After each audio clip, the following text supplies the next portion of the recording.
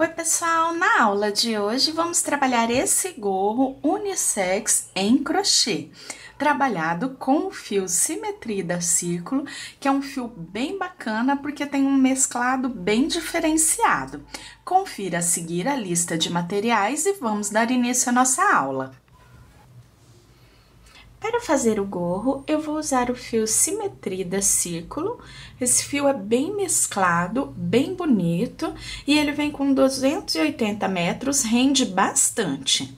Vou usar também a agulha para crochê número 4 e tanto toda a coleção do fio, quanto agulhas, acessórios, enfim, tudo que você precisa aí para confeccionar as suas peças, você encontra na loja Mega Armarinho. Eu vou deixar para vocês aqui em cima no vídeo o link da loja Mega Armarinho para que você conheça a loja, visite, confira as novidades, as promoções e é tudo muito rápido e muito simples. Você compra aí na comodidade da sua casa e recebe com muita rapidez. Bem, pessoal, e agora que a gente já tem a lista de materiais, podemos dar início ao nosso gorro. Faço cinco correntes fecho com ponto baixíssimo, subo três correntes que correspondem ao primeiro ponto alto e trabalho mais 23 pontos altos, ficando no total com 24 pontos altos nessa primeira carreira do gorro.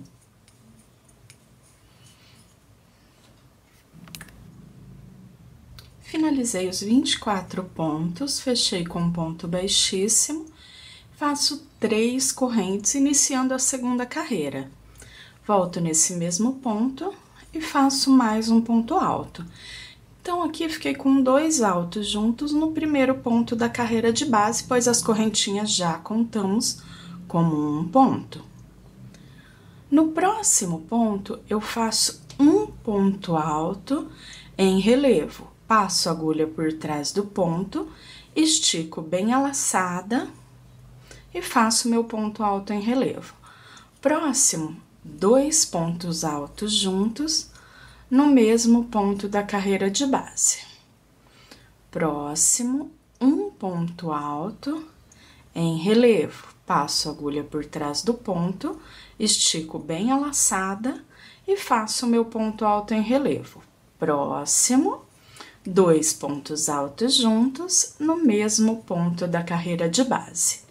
Dessa forma, eu sigo alternando dois juntos, um em relevo, dois juntos, um relevo, dois juntos, em volta de toda a carreira. Carreira finalizada. Inicio a terceira fazendo três correntes que eu conto como primeiro ponto. Volto nesse mesmo ponto e faço um ponto alto. Próximo, trabalho um ponto alto. No ponto seguinte, relevo sobre relevo. Então, ficaremos, ó, temos relevo na carreira de base, um, dois altos, relevo. Nessa carreira, ficaremos com três altos e relevo. Então, logo após trabalhar o relevo, eu faço dois pontos altos juntos, no mesmo ponto da carreira de base, no seguinte, só um ponto alto. Logo a seguir, eu já tenho relevo, então, trabalho relevo sobre relevo. Então, ficaremos com essa contagem: relevo, dois altos juntos, um alto sozinho, relevo novamente e assim repetindo a contagem ao longo de toda a carreira. Finalizei a terceira carreira e já iniciei a quarta, onde faremos dois pontos altos juntos, um, dois pontos altos sozinhos, relevo. Ficaremos desta forma com quatro pontos altos entre um relevo e outro. Então, aqui temos relevo, a seguir eu faço dois pontos altos juntos, depois mais um ponto alto e outro ponto alto sozinho. Quatro pontos altos, um relevo, quatro pontos altos, um relevo em volta de toda a carreira. Vamos trabalhar agora a quinta e última carreira de aumentos. Inicio com as três correntes, volto nesse mesmo ponto, faço um ponto alto, então fiquei com dois altos. Depois trabalho um, dois, três pontos altos sozinhos. Ficamos então com cinco pontos altos entre os relevos. Agora trabalho o relevo e mais uma vez, dois juntos, logo depois do relevo. E faço os pontos altos sozinhos. Um, dois, três. E mais uma vez, após completar os cinco, tenho o relevo. Essa é a última carreira de aumentos. Então, daqui para frente, vamos seguir ainda por 10 carreiras antes de fazer o acabamento. E essas 10 carreiras vamos trabalhar da seguinte forma: eu faço ponto alto sobre ponto alto até completar os 5 relevo sobre relevo. Depois que eu fiz o relevo, eu não trabalho mais dois juntos, porque nós já conseguimos a abertura suficiente. Então, agora eu chamo essas 10 carreiras de carreiras retas, pois nós não vamos mais é, colocar dois pontos altos juntos em nenhum lugar da carreira. Então, quer dizer, acabamos os aumentos. Então, a contagem vai ser o seguinte: relevo ponto alto sobre ponto alto até completar os cinco. Relevo. Ponto alto sobre ponto alto até completar os cinco. Relevo. Então, relevo sobre relevo e entre os relevos, cinco pontos altos, até completar 10 carreiras retas no total. E dessa forma eu vou seguir por toda a carreira.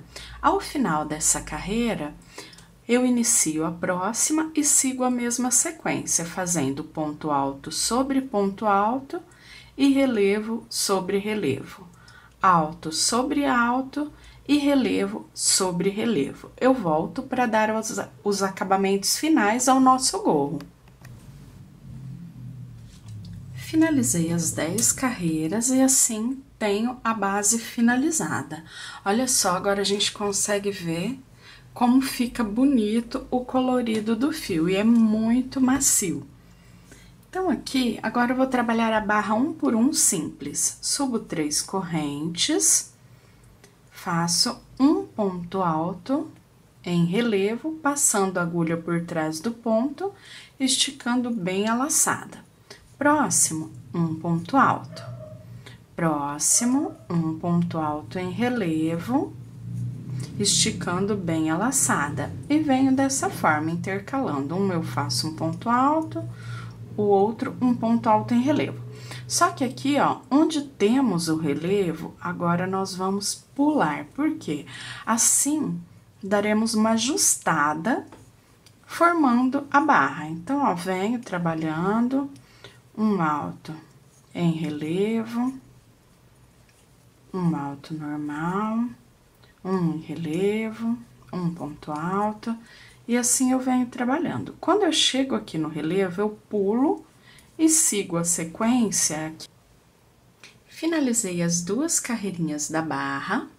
Agora, vou fazer uma carreira em ponto carangueja para dar o acabamento final ao nosso gorro. Então, o ponto caranguejo, ele é um ponto baixo, só que sempre voltando no ponto anterior, onde eu puxo a laçada e quando eu fico com as duas, eu prendo as duas de uma única vez. E eu vou passar a agulha entre um ponto e outro. Prendo as duas laçadas, passo a agulha, prendo as duas laçadas. E assim eu vou trabalhando em volta de toda a base do gorro. Olha que legal, vou fazer mais alguns pontinhos para já mostrar para vocês que eu uso bastante esse acabamento. Olha que legal que fica. Então, vou trabalhar em volta de toda a carreira, arremato os fiozinhos e volto mostrando a peça já finalizada. Bem, pessoal, aqui o nosso gorro já finalizado, acabamento prontinho. E dessa forma também finalizamos a nossa aula de hoje. Eu espero que vocês tenham gostado e até o nosso próximo vídeo. Tchau, tchau!